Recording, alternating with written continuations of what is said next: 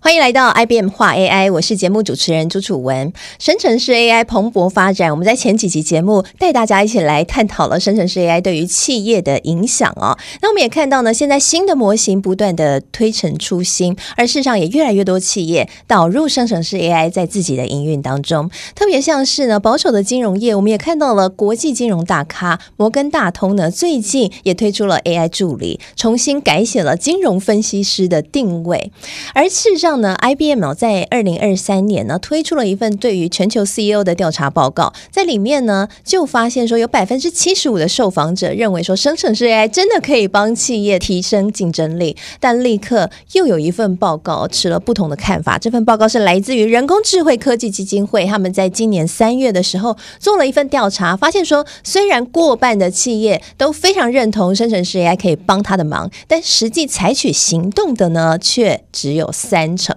那到底为什么其他七成不愿意在这方面赶快加快脚步呢？他们遇到了什么样的问题啊？今天呢，我们在节目当中邀请到两位专家来带我们一起探索和好好的聊一聊，也看看有没有解方喽。首先呢，第一位专家，我们为各位邀请到的是台湾 IBM AI 应用资深架构师许一成架构师，欢迎 James。哎，Hello，你好，哎，我是 James，大家好。好，第二位呢，我们邀请到的是敦洋科技执行长室特别助理梁哲伟助理，欢迎 Steven。主持人好，大家好，我是 Steven。好，很开心哦，邀请到两位来帮我们解惑一下了哦。如果刚刚所讲的，哎，现在气焰是不是身体跟这个嘴巴有一点点没有同步哦？我们都说呢，这个嘴巴说的很。嗯，很大很好，但其实呢，行动上还是稍微有一点迟疑。那这份调查其实就显示了三成才付诸行动，而其他七成在干什么？我们想问一下，在导入生成式 AI 这一块呢，现在企业到底遇到了什么挑战？是什么原因让他们还是有所迟疑呢？James。好，我觉得这个问题蛮好的哦。其实从 IBM 在长期耕耘于 AI 的这样的一个平台或工具的一个协助，还有导入，那我们也发现啊，其实企业要导入 AI 的时候，其实第一个最大的挑战其实是资料。好，那资料呢，不管是生成式 AI 还是传统的所谓机器学习，还是啊这所谓的呃呃这个 Deep Learning 哈，其实资料都往往最重要哈。不管是资料的不足啊，还是资料的正确性啊、品质啊，好都是。那除了资料之外啊，第二个大问题就是说，我导入之后到底怎么样去协助我的业务流程，真能够取得这个更好的效率？哈，那以往有时候会过于照镜，就说哇，AI 很万能，我应该就能解决问题，但其实没有办法。也就是说，一开始采取的策略，它并不是一个，所以我们叫人机协作，而是让它自己发展。那这样子，假如 AI 表现不好的时候，那大家都会很沮丧。好，那这样的一个心态之下，大家都不敢再继续投资，即使生成 AI 的确有帮助，大家还是会。就是说，变成越来越保守。好，我想不管是在策略上，还是说在业务的整合上面，哈，其实都应该好好的思考，看怎么样来导入会有效果。是，所以其实是不是他们也掉入一个迷思，就是把 AI 当成万灵丹啊，认为说 AI 进来了，我什么都不用做，那 AI 就是自动可以帮助我。但其实是需要人机协作的过程，对不对？对，在组织上面或者是人员上，哈，其实都应该要开始去呃，怎么样的逐步的让我们的人员。愿意接受它，让组织开始习惯说有个小帮手来帮我们。嗯，所以组织也要跟着调整哦。所以它其实是影响的层面是蛮大的，很多部分都要跟进。我好奇想问一下，Steven，你的观察呢？是因为呃，我目前我们对阳在跑这么多客户来讲，很多的 AI 客户，其实我们观察大部分都是在停留在 machine learning 为主，所以实际的实做在真正碰到 AI。这件事情上面，可能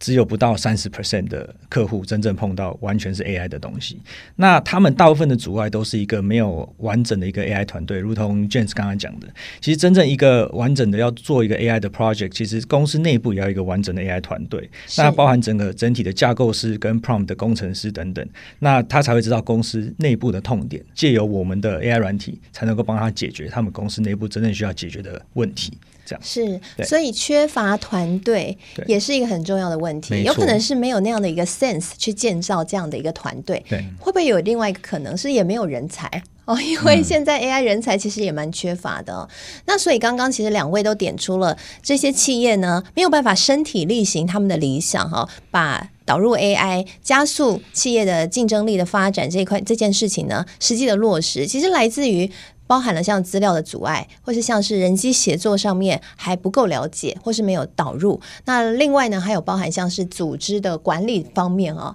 所以其实涵盖面还蛮广的。那有没有解方呢？就你们来看，你们也辅导蛮多客户的，那你们认为在这方面有没有突破点，还是目前还是有限制？OK，我想是这样哦。其实呃，解方一定有，那我们就是看你要特效药，还是说你要逐步来实现哈。所以从组织上面，我们其实可以开始像 Steven 讲的，我是不是在团队上面开始啊有成立团队？那这可能是一个呃某些单位开始先出人，其他单位配合，或者是我们就真的有一个独立的组织。好，那从组织以外呢，我刚才讲到业务流程，其实这才是大家很关键的地方。哎，怎么样大家来思考我的 AI 怎么样放到特定流程，可以解决我什么样的痛点？OK，所以 IBM 其实有所谓的客户工程团队，叫 Client Engineering，那就来帮助我们的企业一起来发想，我遇到什么痛点，然后我应该怎么样导入我的 AI，可以解决我什么问题。那接下来我们再开始真的去观察资料的议题有没有办法解决，然后怎么样整合到我现在流程。是，所以自己如果人才不足，那么就要赶快找外部的帮手，啊啊像引进 IBM 的团队一起来协助是一个方法。所以你们其实就是在做大家的救火队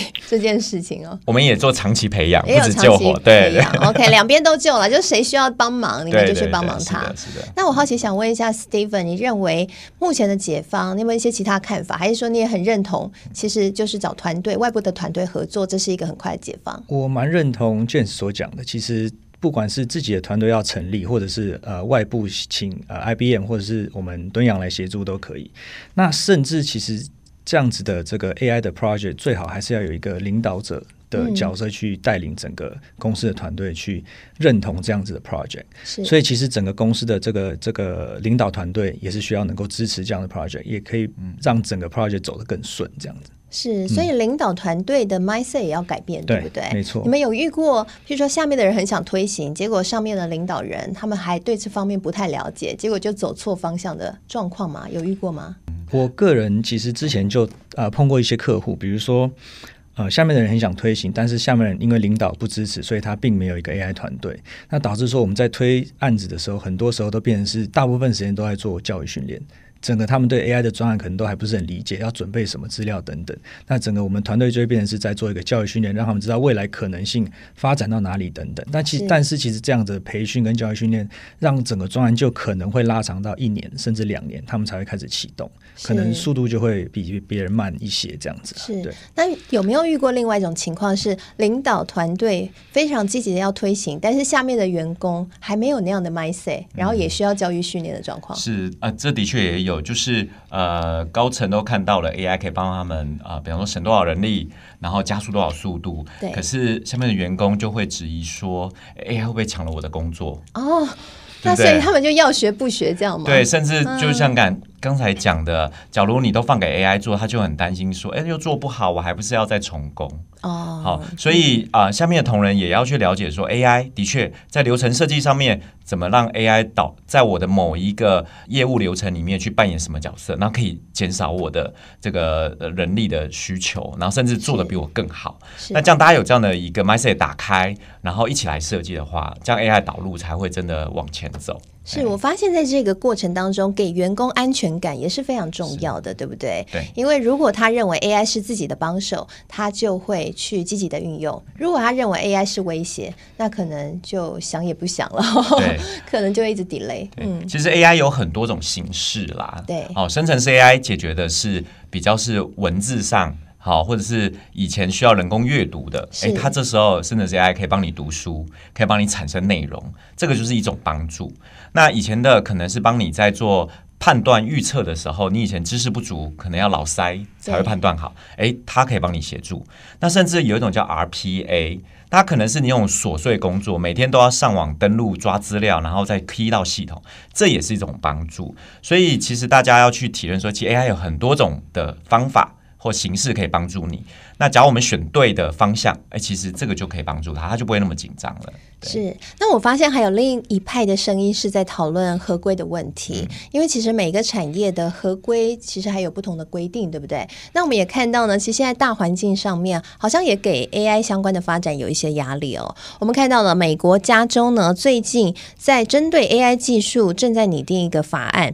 那要求呢，这个所有的 AI 技术必须要严格的遵守。安全的框架，而且呢，要保证说不会具有危害能力哦。你的模型要不能具有危害能力，甚至是如果你造成了问题，造成了危害呢，还要有一个可以停止的按钮，可以停止的开关。那我想这一件事情出来之后，引发整个产业高度的重视。那这个方面呢，是不是会让接下来 AI 的发展会呃有一些限制，或者说企业在导入 AI 上面会有更多的框架？我不知道两位对于这个方面合规的部分，你们。认为有没有解放？是，我想从 IBM 的立场，其实 IBM 是一个全球公司，所以各地方的法规的要求，其实 IBM 呃都有积极在研究。那我们也有一些的解决方案，让我们去让客户在做这个所谓 AI 流程开发的时候有一些遵循哈。那我们有个法规资料库，那你在设计整个开发流程的时候就可以来遵循。那第二刚才也讲到要监控。好，才才有办法那个按钮按下去要停止，然后所以 IBM 也有相关的解决方案，帮助我们做出来的模型做一个监控，那会提醒你说，哎，可能我们的精准度有问题，或者是我们是不是有偏心了？那这是不是你是不是要注意啊？这个都是 IBM 的解决方案，有在帮忙。呃，针对法规好或一些要求，我们有可以做的努力。哦，所以你们本身的模型就有 AI 监控的功能。对对对，都有相关的监控的功能。哦，蛮有趣的。那我不知道 Steven 自己在实际跟客户讨论的过程当中，有没有一些发现？呃，其实因为现在台湾针对 AI 的法规还没有定的这么的严谨哦，大部分都是可能 maybe 欧洲、可能美国会定的比较严谨，所以其实我们在选择搭配的配合的厂商来讲，都会选择比较像是成熟的厂商，像 IBM 这样的厂商，因为他们其实在国外都有非常非常多的经验，不然他们的甚至把这些经验都纳入在他们的平台上面，都已经可以让我们直接做使用，所以这样的变异性也让我们其实是选择跟 IBM 配合的原因。哦，了解了解，两方也配合非常久了嘛。敦阳跟 IBM 算是常年的好朋友了，一起帮助客户 在 AI 加速扩大应用或是发展上面，双方算是强强联手。我好奇想问一下，你们都怎么样携手一起去帮助客户？OK，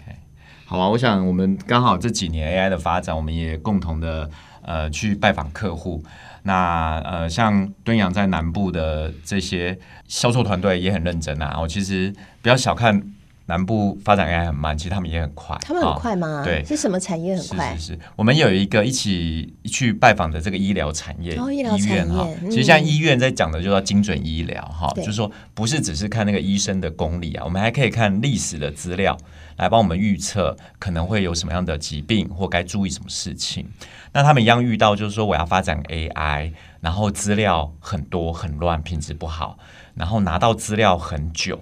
好，所以他们这些问题都是想要解决的。那接下来呢，他们又遇到了说，哎，安全的问题，因为那个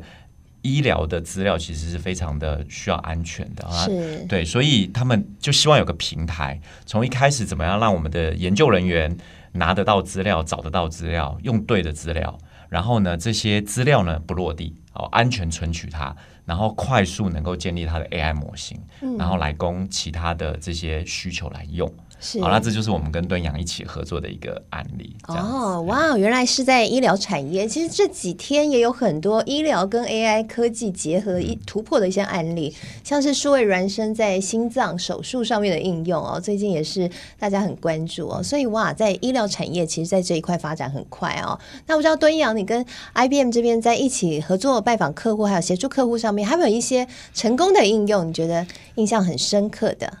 诶，其实我们主要致力也是目前在跟 IBM 做很多的推广了。那在推广的方面，其实不管是跟 IBM 协办一些 conference，或协助客户就是在架构规划等等做教育训练，都是我们在积极在在跟 IBM 一起协协办这样子。那当然，我们自己的这个呃工程师在对于 IBM 挖层上面的一些学习，也是学的非常非常的多。所以其实我们自主的这个学习成长，然后加上跟 IBM IBM 协办的 conference，以及到最后加呃导入到客户的目。末端等等，这我们都有一系列的这个配套措施。对对对对对。是，所以你们是跟 IBM 一起携手教育市场，对哦，这一块其实非常重要。像我们刚刚前面讲的，如果 mindset 没有改变的话，不管是领导人或是下面的下属啊、这个基层都没有办法实际的去推动 AI 的导入，对吗？那其实我也听说，在你们合作的过程当中，帮助客户的过程当中，蛮多客户呢都大力的采用 Watson X 这样的一个企业的这个数据 AI 的平台啊、那 Watson X 到底有什么样的魅力，让客户们都认为说，哎，好像还蛮好用的？是。好，谢谢主任这个提主持人的提问哦。其实 Watson X 他在思考这个产品的发展的时候，其实就是一个端到端的解决方案，就会从资料哦，怎么样找到对的资料，刚才讲到，然后到用资料，到整理资料，到发展 AI，甚至后面的监控。啊，其实它是一个很完整的一个解决方案，所以我们的客户在看到这个方案之后，就发现说，哎，这就是他们要的东西。好，所以对他们来讲呢，Watson X 可以让他们减少很多在开发 AI 的时候这些整合的问题、资料存取的安全性问题。那同时后面的这些监控，也让他们能够对未来在面对这个法规的要求的时候，他们可以提前准备。好像现在呃，台湾的金融已经有 AI 的相关的指引出来，好，哎、他们就会开始说，哎，的确，我从发展模型到监控，哎，其实它就是一个完整的方案。哦，所以它是一系列都帮你走好、预备好了。对，哦，原来如此。那我不知道敦阳这边的观察呢？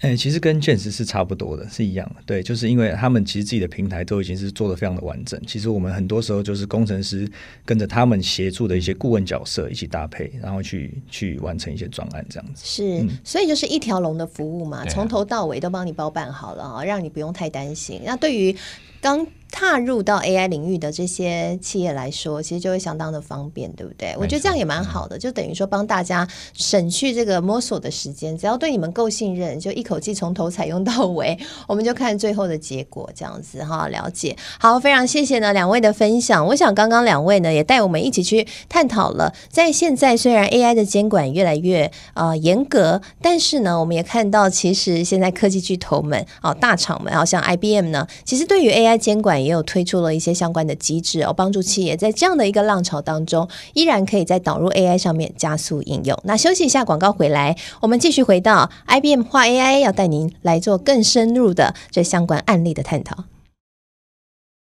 欢迎回到 IBM 化 AI，我是节目主持人朱楚文。那接下来呢，我们要继续来深入聊一聊，到底企业在导入 AI 加速竞争力，还有扩展一些相关应用的时候，我们在 MySay 上面要如何可以上下联手、上下一心，然后透过整个组织的调整啊，一起在这条路上面走得更快更好？有没有一些成功的案例？我们要继续来请教一下 James 还有 Steven。好，首先呢，我想先请教一下两位。我们刚刚在上半集节目的时候特别聊到说，其实导入 AI 呢，很多人后来哎走到一半放弃了，或者是根本讲很大声但没有开始。其实就考量到说，它不只是数据上面要准备齐全，而且呢还包含了组织上面的调整哦，就是大家都要有那样的一个 mindset，也就是它有一个企业的文化啊，大家呢不管是长官或者是下属，都要对于这个 AI 有相关的思维能力。那我好奇想问一下啊，那这个说起来很简单，做起来一个企业好，假设有一千人。好，或者是甚至是一万人、两万人，你要大家都有这样的思维能力，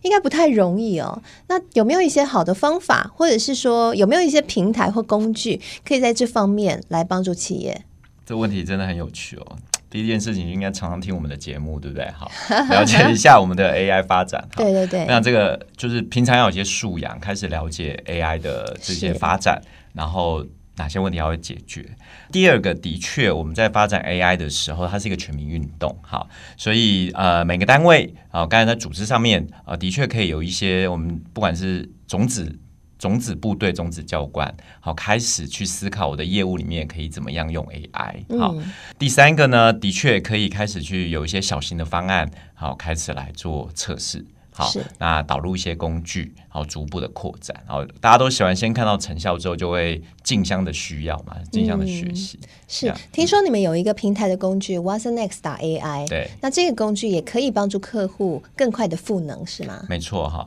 就像如同刚才我们也有提到哈，整个 WatsonX 的平台呃。强调的是一个端到端的解决方案，它也是一个企业级的应用。好，所以呃，导入这个平台呢，可以帮助我们的 user 好我们的科学家能够很快速的去使用上面的工具，然后也可以帮助我们的 IT 哦，容易的去做这样的一个维运。好，其实 AI 所需要的资源是不少的，所以它需要一个统一的去管理这些资源哈，甚至 GPU 好，这个绝对不是。每一个部门买一张 GPU 卡就可以解决的，所以都需要做统一的管理。那 user 呢有不同的角色，他们可能有人会写程式，有人可能还是比较粗浅，有人统计很好，所以我们有提供不同的工具哈，那让他来做选择啊。我想这就是呃整个 Watson X 平台的一个精神啊，希望整个企业都能够。透过这个平台来开始使用 AI，是你们有特别把这个界面设计的简单一点嘛，让大家可以边做边学。对对对。哦，了解了解。所以其实一个好的工具很重要，因为它如果难度不会太高，然后让自己可以在上面不断的像练功一样。听说你们还会办工作坊是吗？是啊是啊是啊，像我们的工作坊很有趣啦，有些是在讨论说我的业务流程里面哈，到底要有哪些 AI 可以帮忙。那我们也有用我们的平台，好，我们现在平台有云端也有地端，所以他也可以用我们的云端的方案，然后自己练功，好，那这样子的话呢，就会呃比较不用担心说。第一次就要投入这么多资源哦，了解了解，就可以先模拟看看，对不对？嗯，模拟蛮重要的。模拟我发现说很有效果之后呢，再实际去运作，这样就可以省成本，是吧？是。那我想请教一下 Steven，Steven 的在观察上面，认为有没有一些呃，就你们来说觉得蛮有效的方式？嗯，对我呃，我完完全同意 James 刚才讲的这个模式，但呃，我们自己的模式会有有一点点呃比较不一样，是因为我们会希望说客户呢，在一开始想要验证他想要验证的 AI 的模式的时候，先提供给我们他所有的资料档案。或者是提供给我给我们他所有需要验证的这个工作流程，好，那这个工作流程可能中间是 AI 要帮他做掉，资料档案可能是要 AI 能不能够辨识到这些资料，让这些资料产生产生出有效的资料档案，提供给客户他需要的答案、预测或分析等等。所以我们会先做一个呃小型的这些资料验证，让客户马上就可以看到成效。看到成效之后，会让客户呃携手就是 IBM 去做一个小型的 MVP 测试。那这个 MVP 测试就会比较规模会大一点点，嗯。这个中大型的这个 MVP 测试，那逻辑上就是因为它能够完整架构出客户完整所需要的资料量，好，所跟所有的 use case。那也因为说这样的呃 AI 的这个测试，大部分都需要用到，不管是 IBM，不管是敦洋的工程人力，都需要用到一些呃人的客制化的时间哦。